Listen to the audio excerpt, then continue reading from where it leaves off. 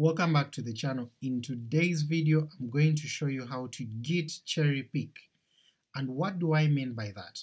So if I look at this particular repository you'll see that I have 8 different commits. So maybe I didn't like the direction this whole branch went. So let's say I want to just pick out only maybe one or two of these particular commits from all these 8 and I'm going to add that to my particular code.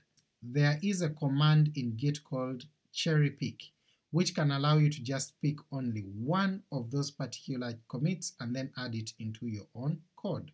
So what I'm going to do here is I'm going to copy this link right here, I'll come to my editor, I'll open my integrated terminal, and I'm going to git clone, I'll paste my link, and that's going to allow me go inside.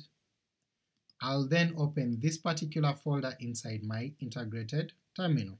And if I hit git log right here, you're going to see that we have all our commits showing up. So let me push this up so that you can see all this number of commits that we have right here. So let's say I want to just have this commit in here that we have. So I'll copy this commit ID I'll reduce this so that we can see what's happening, and right now you're going to see that we have all these particular files in here. So I'm going to type clear here, I'm going to git checkout of this branch, and I'm going to come to a branch which I'm going to call cherry.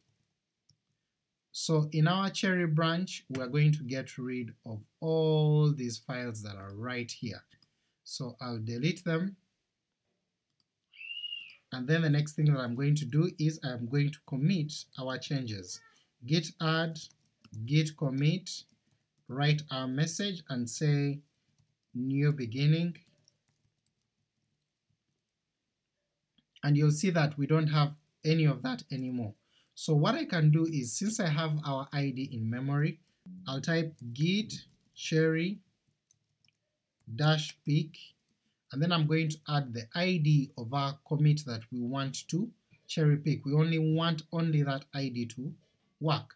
So I'll hit enter here, and you're going to see that it's going to bring the files that were committed at that point. So you'll see that it only brings back only one file, not the whole chunk that we had here. So you can be able to just handpick and pick only one particular commit pick only the few of those files that you want to have. So after doing that I can now add this here, then I can commit it,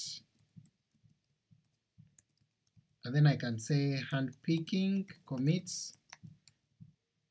When I type my git status right here, hit enter, you'll see that we actually have a clean branch. We now have the commit, we have the files that we wanted to have in our project, and that's all we wanted, just one particular commit. So that's how you can use git cherry pick. I hope that was a little bit clear. If you have any questions you can leave them in the comment section. If you enjoyed it please give this a thumbs up, and don't forget to hit subscribe if you're new here.